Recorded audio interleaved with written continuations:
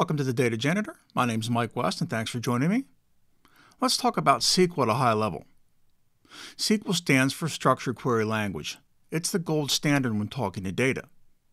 Although SQL is an ANSI ISO standard, there are different versions of the SQL language.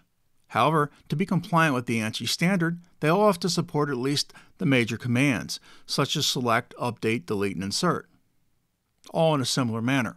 If you've heard someone say SQL is just SQL, that's what they mean. However, there's a caveat here, and it's a big one. All vendors that adopt SQL change it or tweak it a little. That means all vendors have their own flavor of SQL. For example, SQL Server's flavor of SQL is called Transact SQL. Oracle's flavor is called PLSQL. Snowflake's flavor is called SnowSQL. The SQL language is broken into two major branches. The first branch is DML, DML is an acronym that stands for Data Manipulation Language. DDL is an acronym that stands for Data Definition Language. DML is used to work with data in tables. There are four core DML statements. They are select, insert, update, and delete. Select means to read the data in the table. Insert means to put the data in that table. Update means to change the data in that table. And then delete means to remove the data in that table.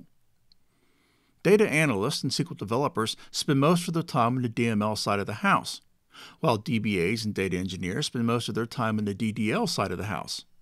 Why is that? Data analysts author SQL code that manipulates the data in the tables. The majority of this manipulation is reading the data.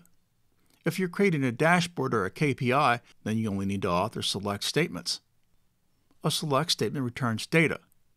If you're reading data, think select. DBAs and data engineers are often responsible for creating the objects that store the data. An example of a DDL statement is the create table statement.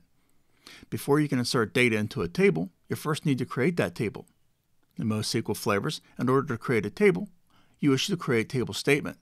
As the data engineer, I'm going to create the destination tables that are going to house the data from the relational database. Those tables have to be created before you can create a pipeline and move data to it.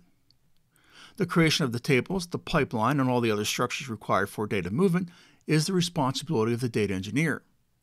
All those structures are created using DDL. If you're just starting out learning SQL, keep this separation in mind. If you're massaging data, you're likely going to use DML. If you're creating objects like tables, you're likely going to use DDL. Thanks for watching. Don't forget to like and subscribe, and we'll see you soon.